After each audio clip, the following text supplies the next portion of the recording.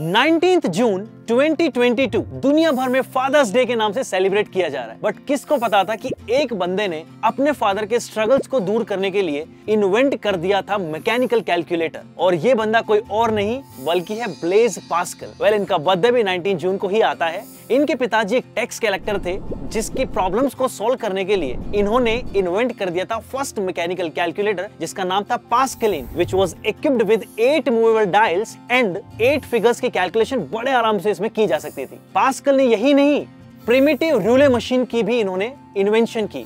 उसी के साथ में रिस्ट वॉच पहनने वाले ये पहले पर्सन थे।